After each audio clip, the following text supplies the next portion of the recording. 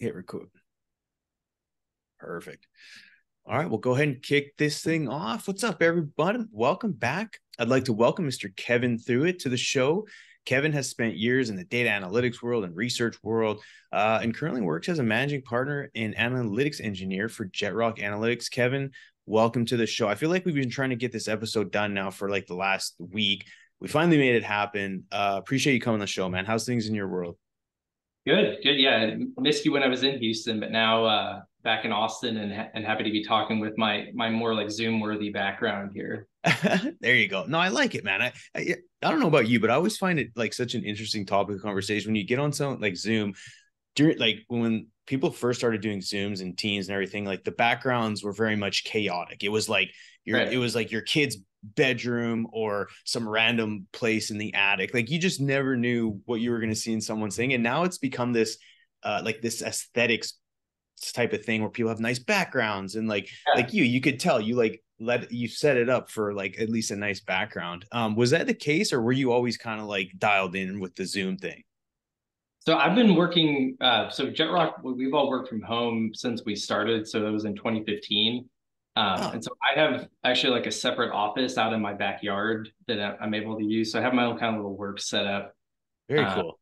And yeah, I just my wife basically said like you need to you need to up your Zoom background game. So she yeah do some some sort of decorating behind me. I love it, man. That's like yeah. so.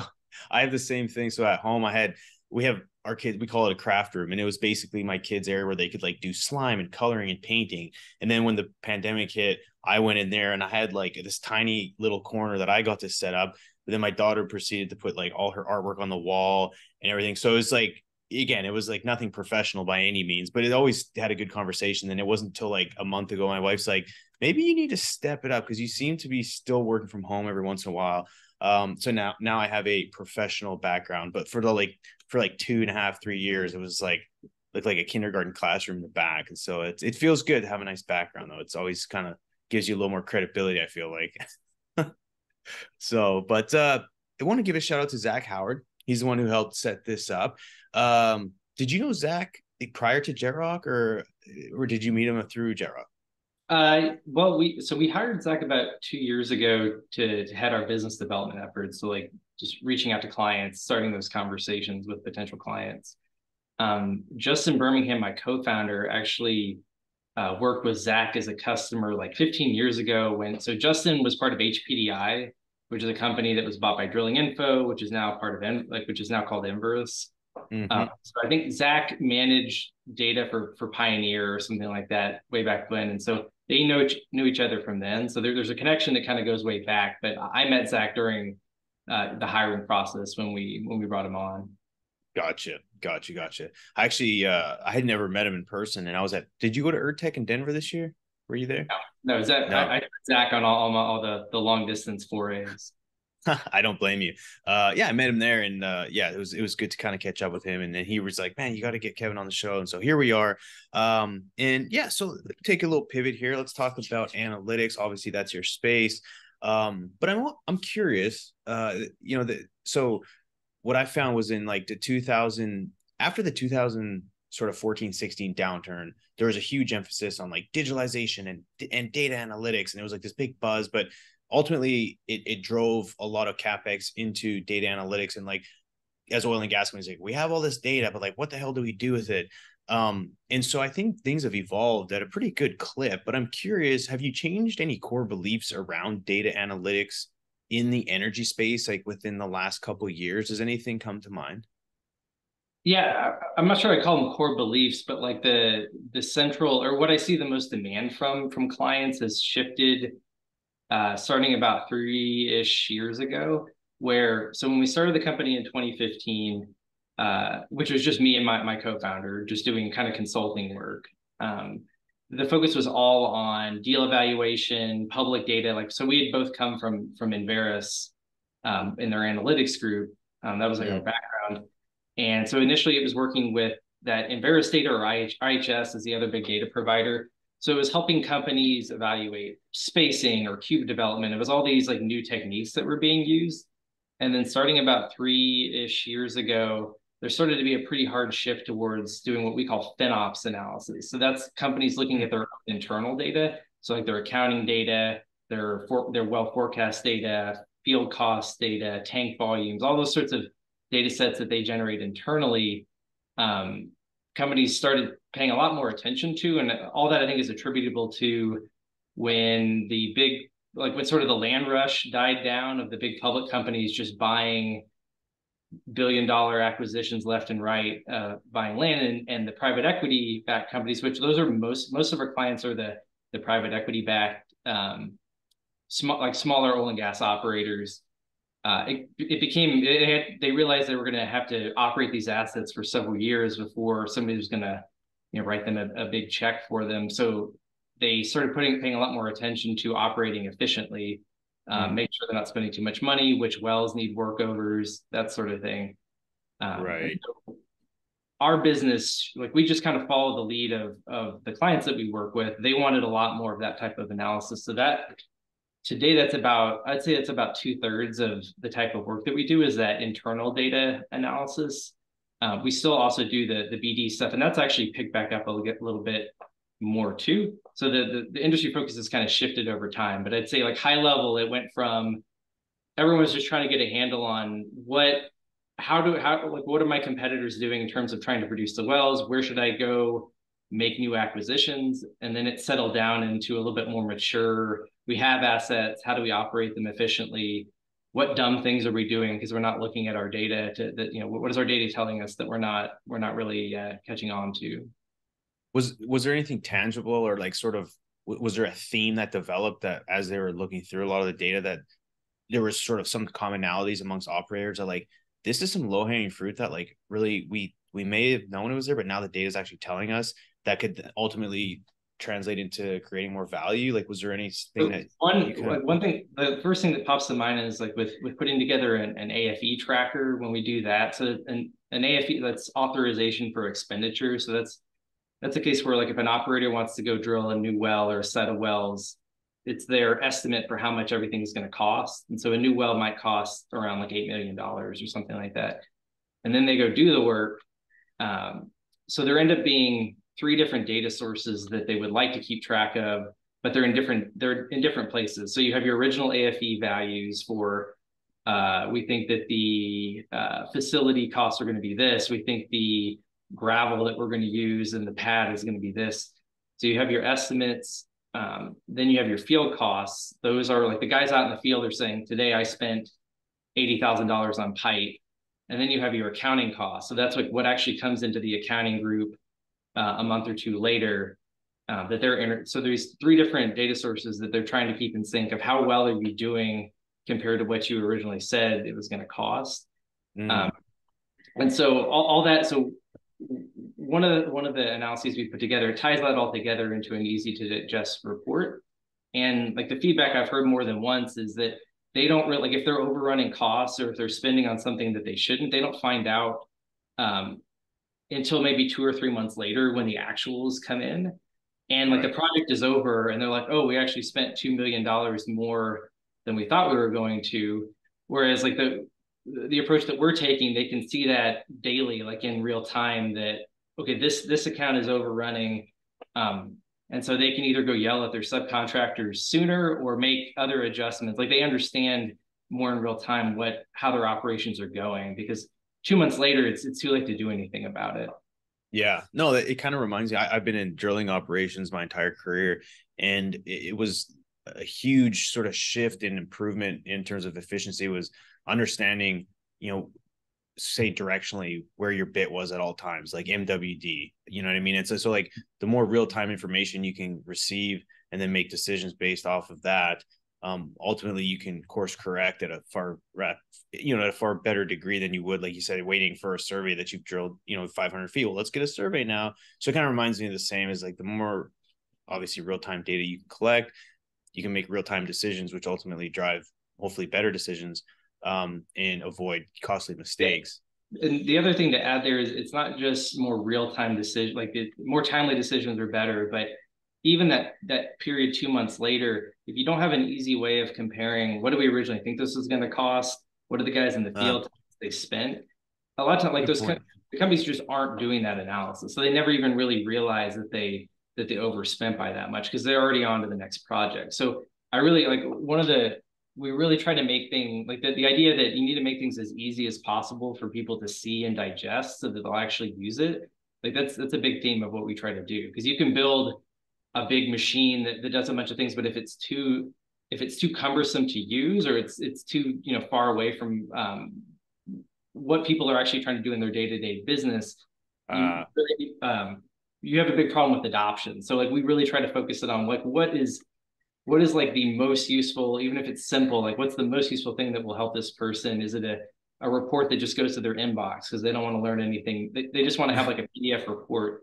Um, we do a lot of that because that can be enough like there you can build a lot more complicated things than that but getting people the information that affects their jobs uh, in the easy, absolute easiest format is there's a lot of extra value from that.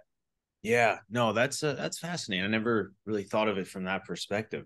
Um, so JetRock's slogan is is closing the gap between data and decisions, which I thought was kind of interesting. Um, how would you describe that gap currently? Because I think that's an interesting point to cover. Like when you say gap, what do you guys mean? Yeah, I think it, it it's it's related to the the last point that I was talking about. That companies have um, when I think about their internal data, they ha- they generate a lot of data themselves. So that, again, that's like the accounting data or how much each well is producing.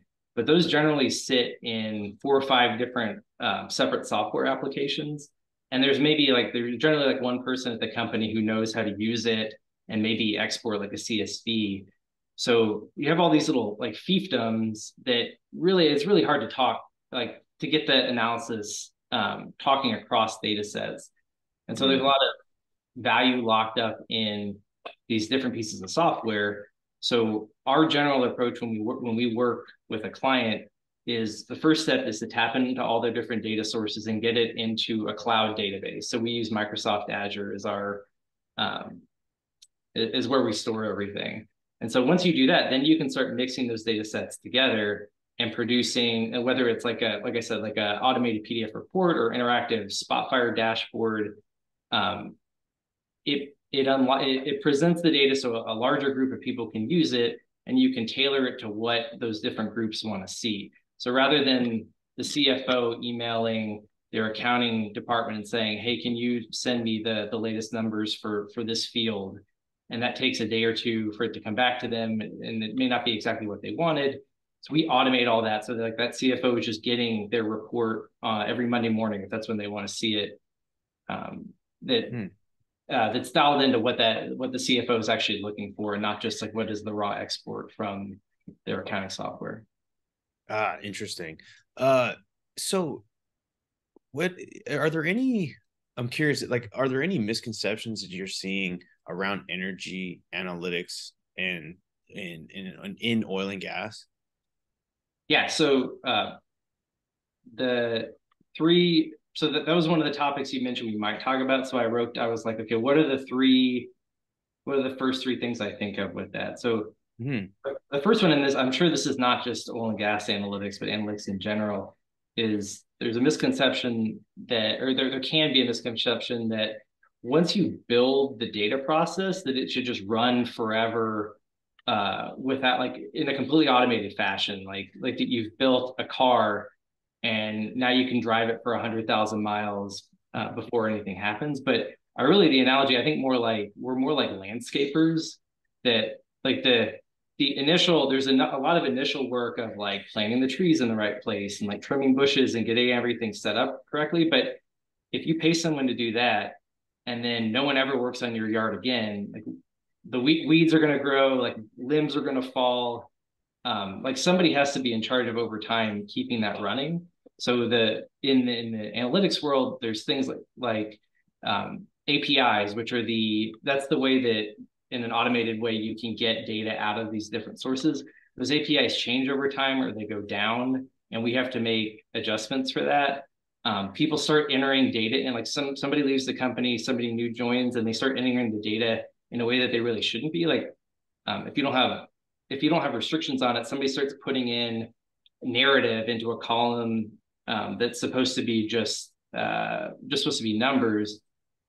So that can break things. There's there's a lot of different ways that things go wrong, and that it's not a huge effort to fix, but somebody still needs to be on tap um, to get those things fixed. So with our engagements clients, like we support what we build basically forever. Like there, there's a forever relationship there um, because if we build something and hand it off to the team, like to the, the client, like they don't really know how to use it. Like we we know how to use it. We know how to keep it running. Um, so part of our engagements that we insist on is that there's a there's an ongoing relationship there. It's not just build it and hand it off. Um, I got you. People don't always understand that. They say like, well, you've written the code. It you know why like it should just it should just work forever, but that's not that's not the reality when you're tying together all these different data systems. Interesting. Do you, do you find like so for a long time there was trying to get data from operators or even anyone for that matter like people held it so close to their chest. I mean being that like do you still find that to be the case or are people a little bit more i guess less he- hesitant to give up data for like third party use or like companies like yourself to come in and like oh. dissect? Is that still a thing? Uh kind of. So the the companies that we work with know that they want to get more out of their data and they need help with it. And so mm we so one like we the work that we do for each client is is totally siloed for each client. Like we're not we're not aggregating multiple clients data together to do some kind of uh, like industry sure. level analysis. So like we're the work that we're doing is tailored to each client. So that that's a level of comfort there. Like we sign ndas and that sort of thing. So their data is protected. Um, i'd say like the, the public companies are definitely more skittish about what can be done with their data. Where does it it can never leave their network, that sort of thing, and, and we can work with that. Um, but yeah, generally, like the bigger the company is, the more risk averse they are. Yeah. Do, do you do you see? Uh, I mean, are there any trends sort of developing like that moving into the future is going to help whether it be operational efficiencies or help CFOs or I mean do, you see anything developing just on a macro level that that you're getting excited about? Uh what I'm what I'm really excited about is the uh, these new like large language models, AI related stuff. Like I'm I'm definitely we're definitely dipping our toes into that to figure out how that's going to change our industry. Um, yeah, and if if you want, to, we can spend the whole rest of the time talking about AI uh, no, I, that's I, I I like I like building into it because again I like to cover other things too, but I find that AI is such a hot topic, and I mean I'm so I work for an oil field service company, and what what we find fascinating is over the years, a we've we've we've grown through acquisition, so we have a bunch of like data sets coming from different companies that ultimately, if someone gets hired today, for them to go into our system and add a query of like i'm drilling in this area. Tell me about all the issues i might have from say surface down to intermediate casing point. Like for it to like gather a report reference papers like that would take days where we see the potential something like for us to be able to go in which we're working on. So like i see the potential in that but like it's a, obviously a totally different end of the spectrum but the reality is is like taking a large amount of data organizing it and then delivering you somewhat of an answer if you ask the right queries. Um, but like for from your standpoint, like where is that helping you guys? Yeah, so there's two things. There's how we're using it today, and then what I'm kind of experimenting with for what what might happen in the next few years. Okay. Uh, so the way the way we're using AI today is with various models that are they all tie back to to GPT four, or GPT three. So that's OpenAI is is the company that they've created a lot of headlines. They, they're partnered partnered with Microsoft, and we're we're a Microsoft shop. So everything that we do, like in the cloud, is Microsoft based, and so there's there's starting to be some good integration between what AI OpenAI is doing and the tools that Microsoft provides.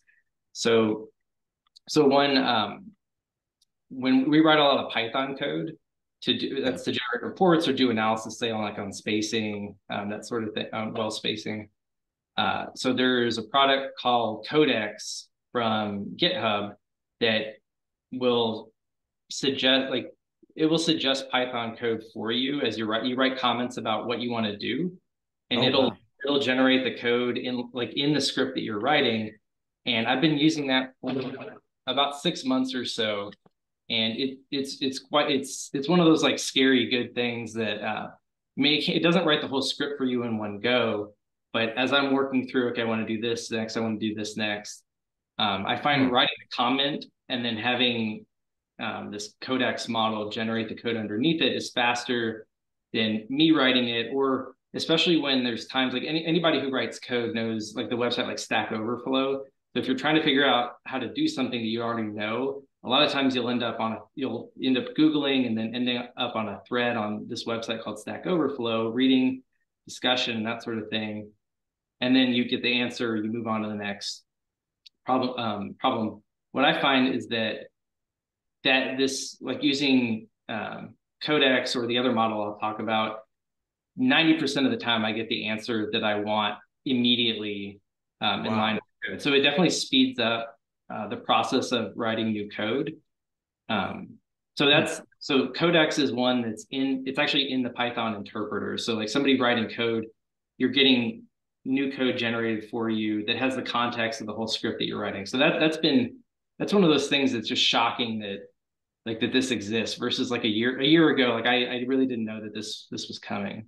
So so real quick, does that then lower the barrier of entry for someone for like a certain role because like it, it, sounds to me like you could almost have someone that doesn't necessarily understand how to write code but if they understand how to somewhat read it to make sure it's heading in the right direction it I mean, does, does it... like I, I think it's it probably it's it's tricky like i think it depends on the application but i think it either i think you could view it as either you could take someone like a, a junior developer like a junior someone who knows python but they're just kind of starting out and yeah. they suddenly can operate at a much higher level because they have this like kind of instant access to a, a big bag of tricks that older developers have taken years to go like they, you know you've learned like the hard way gotcha uh, the, but the uh, the other way that you could take it is you could take one one senior python developer is so much more productive now because it just doesn't take them as long to write all the code that you don't need you don't need all the junior developers so there's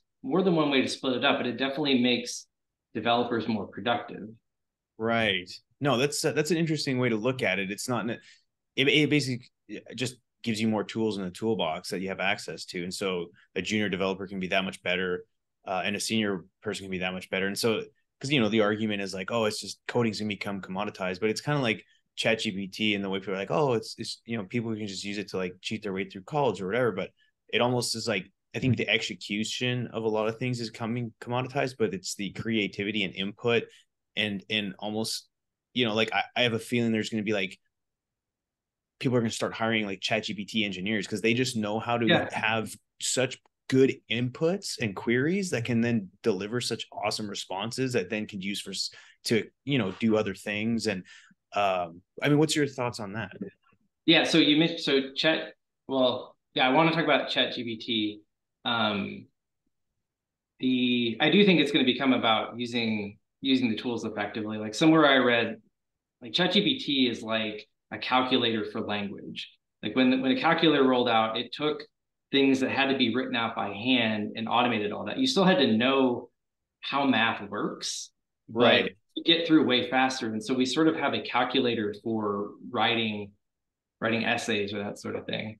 Um, so for us with Chat GPT, um, so everybody on my team, so I've got four analytics engineers on my team, and then me is like the, the original person um, that, that's the head of the group. We all have subscriptions to Chat Chat GPT, Chat GPT Plus, which is it's like twenty dollars a month. Yeah, so with that, that's what... do you, or do y'all? I don't know. Have, sorry, have you, yeah, I mean, sorry, I didn't mean to cut you off. I was say that's the one that I I finally just bucked up and bought because I found it to be a lot more effective and, and for what yeah. I was using it for. Yeah. Yeah, so with the plus version of it, you use the GPT-4 model versus the free one is GPT-3. And with with my just kind of playing around with it, GPT-4 does seem like it's a lot smarter and like you, you get better responses enough where I thought it was worth um, worth upgrading for.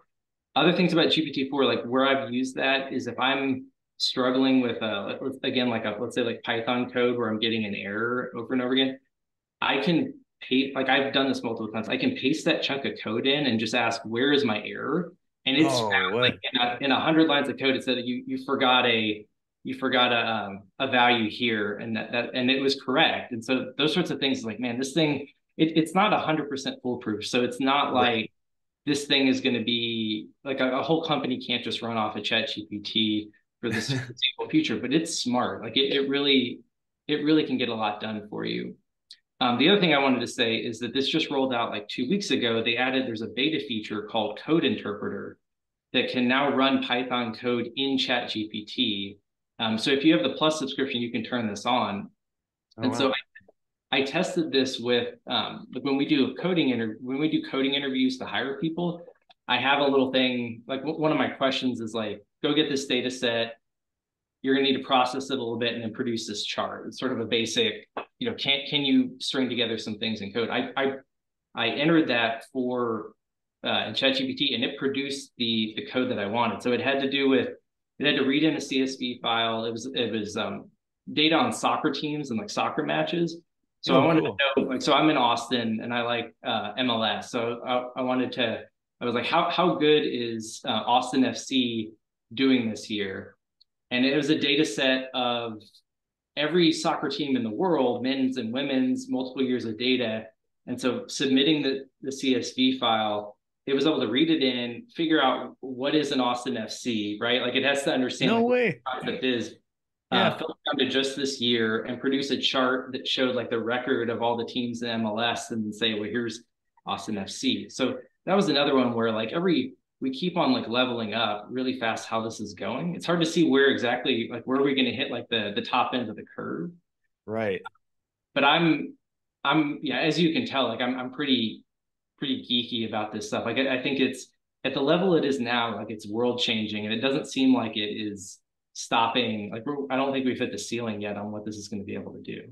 Yeah, no, it's uh I I I agree. And um I've listened I listen to a ton of podcasts and and uh you know again I'm I'm I don't do code and I'm not like into the analytics per se like you are, but I do come from a technical background and and, and even like I've copy and pasted tables of data into it and said, you know, synthesize the data and draw some conclusions, perhaps, you know, what are some trends and and, and I haven't found out a lot of times like if I for some weird reason when I copy and paste a table into it, it it only recognizes like a certain amount. Um anyway, but it's even like small tables and stuff that I've tried to do and and it it it actually recognizes some pretty interesting trends and and things like that. But um to your to your point about like where we are in the curve, like I, I think where we see like for so long we thought AI was something totally different than you know now all of a sudden using it for you know writing essays or for like people yeah. on like a very generic basis. Like no one thought ai was going to do that. People thought it was going to be like robots like ai exactly. robots like walking around amazon warehouses and or stuff, like truck, which... yeah, truck we thought truck drivers were going to be first to go but it's like artists are like the most under threat. It's it's shocking yeah. Uh, what we thought we had a year ago. It is it is. And so i mean thinking about thinking about it from an oil and gas perspective like what does your crystal ball say or look like in terms like well ai because in, in my mind i think it would be so cool is if somehow we were able to adopt ai in things like reservoir management and like adjusting pressures and and valves real time at the wellhead to be able to like control and just optimize reservoir management on like say a big field um whether it be through in, like in like if you're doing a water flood or eor and stuff like that like if you were to just have all this data talk to each other and and somehow figure that out. I don't like because again it's it's it's like how you know all these operators talk about you know sustainable operations and you know I, I think we do we're getting better at optimizing our fields um drilling better wells completing better wells. Do, do you see this like changing the game on like a very high level or do you think it'll just kind of help companies become more efficient to where perhaps they can maybe reduce overhead or make better decisions to have healthier financials? I mean yeah. where where do you kind of see the future in this? I don't know it's, it's really hard to to say with with a ton of confidence. I think like what yeah. But i'd say like that like the things that pop into my head are that oil and gas is a very physical like it lives in the real world in terms of like there's guys setting pipe out on the on the drilling rig um, that sort of thing ChatGPT is not going to help out with, right? It's it's more it's back office stuff or like you said, optimization. Um, I, do think it'll have an impact there. I think the industry in general, like ten years or farther back, a lot of people have come out and said like here's my ai based black box that's going to tell your company like what decision it needs to make and I, to my i don't think that has been ultra successful like I, I can't think of a lot of examples where that's where where oil and gas companies are just trusting kind of like this ai genie to tell them where to drill or um, you know what what what mix of chemicals and sand to to put in for their completions sure. Um, we what we've really found like a, like a, a, wheelhouse is being able to combine different data sets and uh, produce easy to digest results. So it's more like it's more like reporting stuff that the information's there, but it's nobody can get it together in a way that they can um, they can see and act on.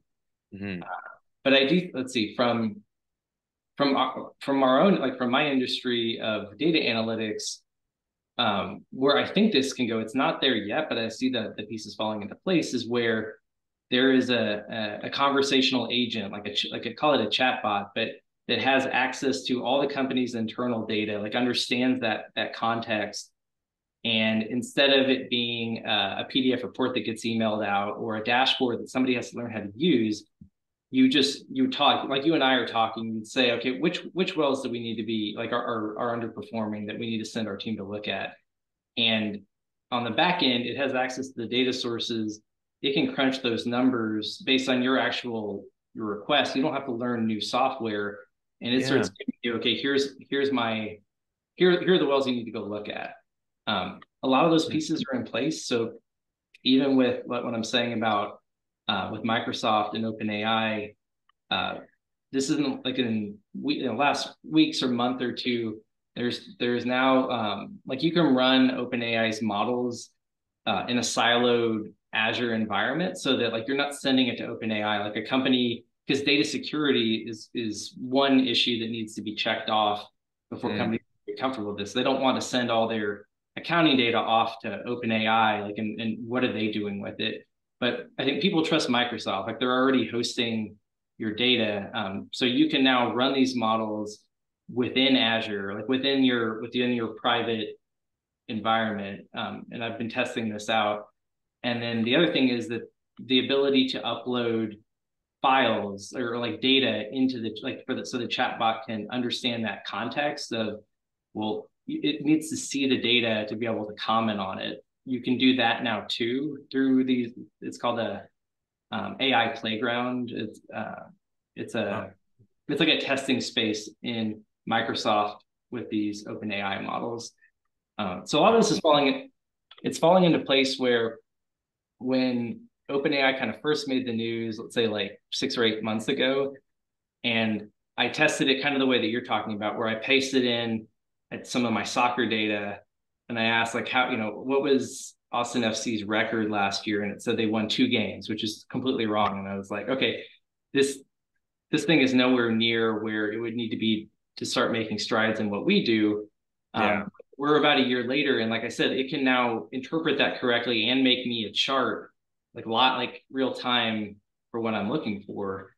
Um, so mm. all, all that is the, the acceleration that has been been amazing. So beyond that, like in terms of like how this is going to affect the industry, it, it gets it, it, gets out of my wheelhouse in terms of uh, you know reservoir engineers like automating uh, forecasting. I mean, we've been doing that like the industry like people have been automating decline curve forecasting for years, but there's still reservoir engineers doing decline curve forecasting, and how is that going to affect like picking tops for geologists? Like I think it'll yeah. affect all of that. Um, I do think adding like a conversational, like a a AI bot conversational interface on top of all these softwares that we're used to using is probably something that's going to happen so that rather than needing to understand 80 different steps in a piece of software to get through your analysis, you're going to be able to talk to it and say what you want it to do and have it like the, the companies that are on this and implement this sort of thing, the the chat interface will take over from needing to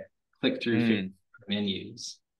Gotcha. No, but I, I, do, I do think it's kind of anybody's guess. The you know where what yeah. gets affected more and less. Yeah, and I think it's, it depends on what industry. And obviously, when we talk oil and gas, it's like there's so many industries and sub industries.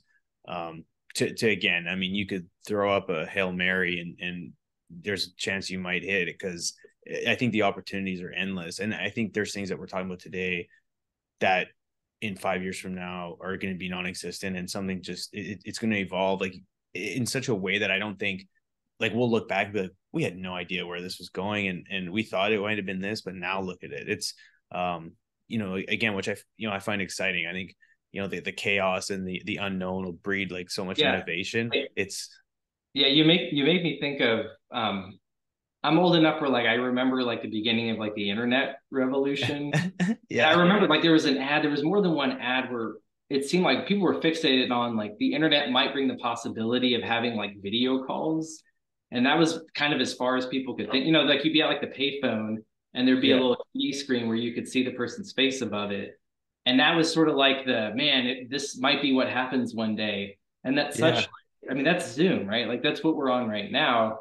But that's yeah. just you know that's your five you know that was five percent of the way into like now like people never look up from their phones and it changes uh, you know it changes how like parents interact with their kids and it it was so yeah. much bigger than that that i think when we talk about when i say like there's going to be a chat bot that you can you know that you don't have to like click buttons anymore that's probably the same sort of thing that like the impact of this is so much bigger than what we can even really game out right now yeah no it's uh yeah it, it's i look i it, it reminds me of you know just like social media platforms. Like when facebook came out it was meant for something and now look at it it's a it's completely changed and same with instagram and and i think eh, those are just examples of like when things hit the market and we think oh this is what it's for and imagine if it could do that.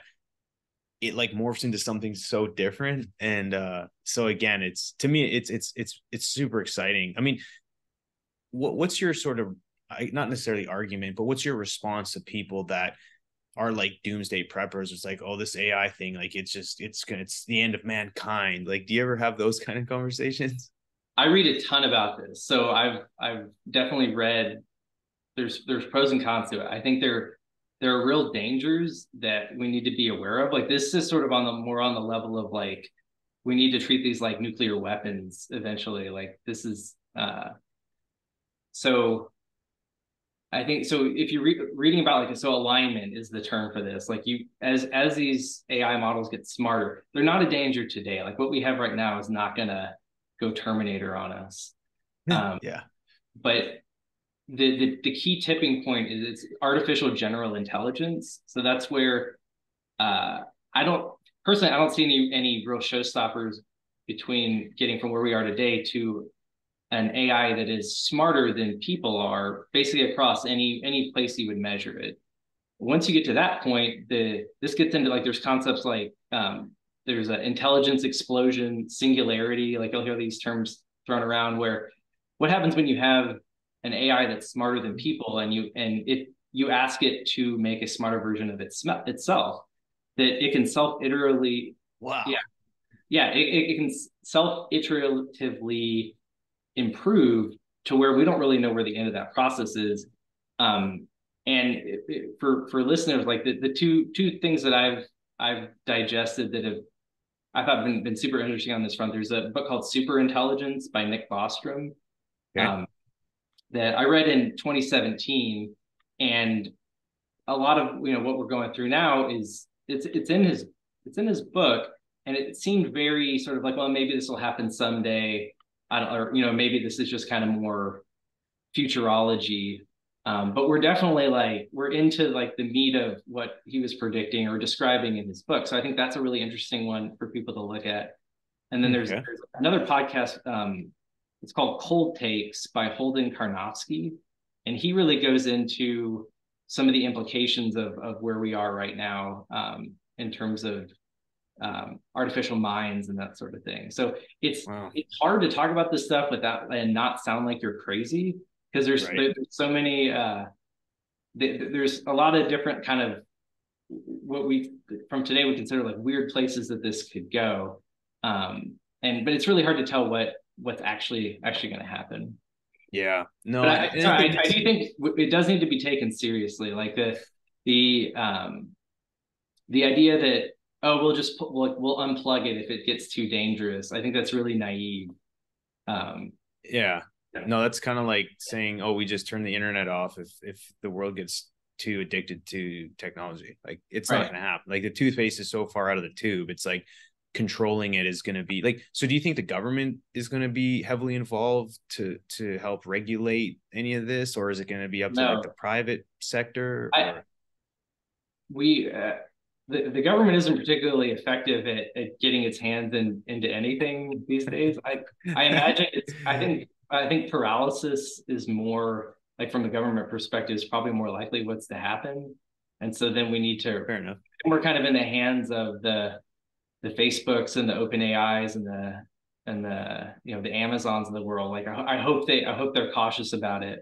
Mm. Um, you've got this you kind of got an arms race, right? Like you these different companies are trying to be the first to market. Like what OpenAI did is kind of upset the apple cart for Google because they have they have um, kind of search locked down. They have for 20 years and they make billions of dollars off of it. But for me, like like I said, like I use this stuff every day. Like I use ChatGPT and and then the coding version of that every day.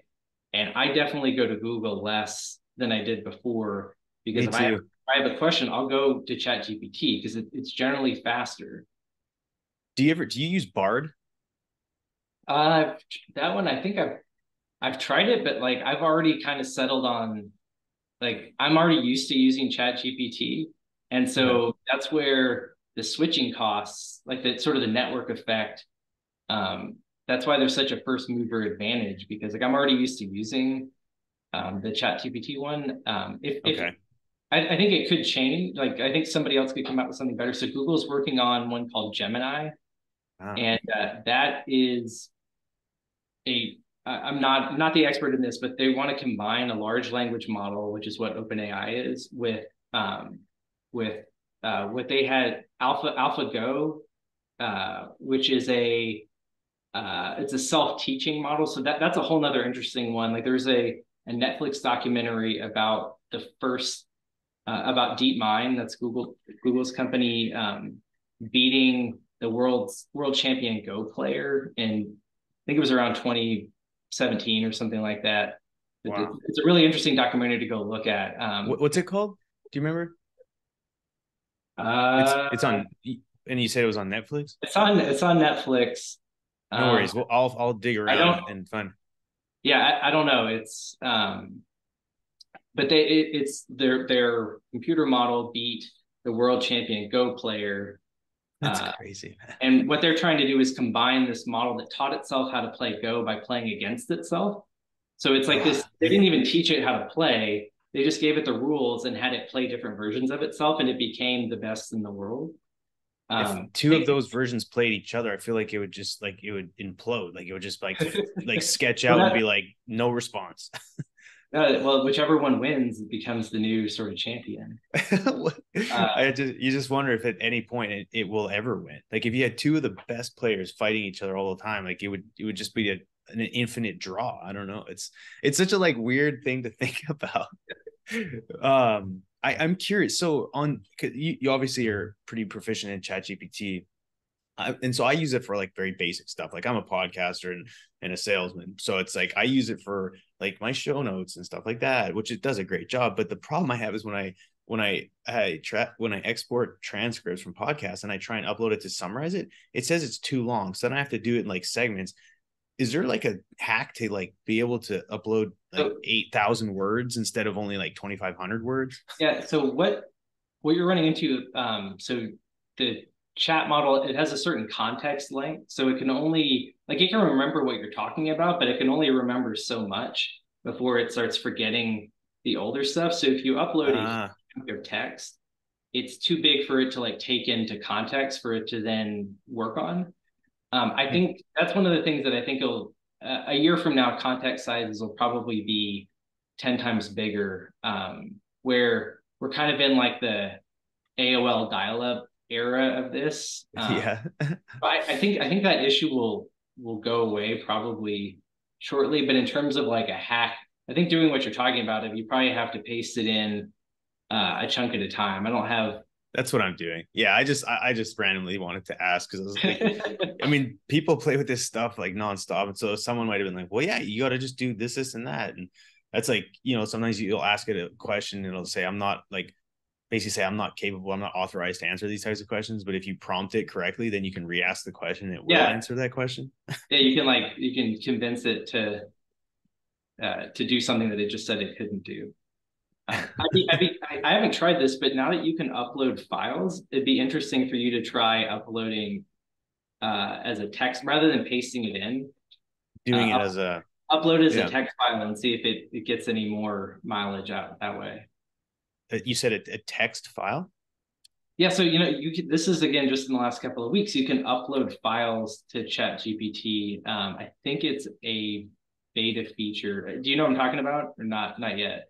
Uh not yet. I'm gonna have to pull it up and see because i i mean I, I haven't seen that. Like i use it every day too and i may have just right, overlooked I'm, it but let me i'm going to use my other screen to go figure out. Um so where you want to go is to uh, go to settings and beta at the bottom. Let's see. Data features. Let's see. Settings and beta, yeah. And so for the listeners out there, look, we're giving you something valuable. You're you're learning. This is good. This is good. So I see general beta features. Oh, here we go. Let's see. So this is where all like the cool new stuff that they add in lives. So if you turn on, so I see custom instructions that lets you bake some information into every conversation. Like I tell it, you are a Python coding expert. And so that actually helps it give better responses because it tells it how it it tells it how it needs to act rather than like every possible personality it could have. It understands, okay, this is the type of question he's going to be asking. Mm-hmm. Um, Got it. Turning on plugins and code interpreters, the other one that I can see. That's the one that it will actually write Python code in the interpreter to, to generate the outputs that you're looking for. Um, so gotcha. uploading, uploading files, I'm trying to remember where that's done. I'll um, ask uh, ChatGPT how to upload files. It might even yeah, tell me. I don't, you know, we, we don't want to go into just like a, a like a, a support session here on, on the podcast, but I, I know you, I know you can do it where you upload it and then it can it can actually speak intelligently about what what's in the data and like do an you on the data. I'll have to try that. And and for the folks out there, I you know I I live in a bubble and I feel like everyone that I talk to uses ChatGPT. But if, if you haven't, um, like I was talking to a good buddy of mine, Ryan Walker. He's he's more in the political space. Um, up in Washington. Um, I've had him on the podcast, but uh, when he was down in Houston last time, we were at the Petroleum Club and I was talking about it, and he was kind of like, "Oh man, this ChatGPT," and I started telling him like what I use it for and some of the stuff, and I said, "Man, like here's how you could use it in your day to day and like the light bulb went off and he was like oh shit like i didn't okay now that you say it like that like i think this is something i could actually use. And so it's like there it it can help anybody like whether you're a landscaper or a engineer like it just play around with this stuff because I it's it's kind of like one of those things that everyone didn't want to use cell phones because they were just like, oh, I just got my landline. But if if you fall behind too far, you're gonna become irrelevant. So for everyone out there who's not playing with Chat GPT, that's my last take. Kevin, this has been an absolute fascinating conversation. I feel like we just scratched the surface. Um, what I'll do, what's the best way to reach out uh, to you, or if someone wants to get to know more about JetRock, what I'll do, I'll put the link in the show notes. But besides like LinkedIn? Yeah. Like, are there any other platforms that you guys see content on? Yeah, so our, our website is jetrockllc.com. Um, I'm on LinkedIn. My email is kthuot at jetrockllc.com. So you can email us or you can email us through the website. Uh, we post stuff on LinkedIn too, so you can hit up me or Zach there. Um, and we're we definitely like talking with, with, just meeting more people in the industry. So even if it's like a, more of an um, uh, informational conversation, um, yeah. versus like oh like you know we have we have some immediate need definitely like we're we're, we're happy to to talk to various people in the industry so feel free to reach out that's awesome, Kevin. Well, again, thank you very much. And for the listeners, if you could review, subscribe, uh, share this with someone that you might think would be interested uh, in learning about what we talked about today. Um, and if you could, if unless you're driving, of course, I've got a lot more downloads than I do reviews. So uh, if you got a chance to uh, type in a review, that'd be fascinating. Kevin, thanks again for joining yeah. us. Thank you for having out. me on. Yeah. Absolutely. And for all the listeners, always remember that everyone deserves access to energy and we is greater than me. Thanks, everybody. Okay. Right. Take care.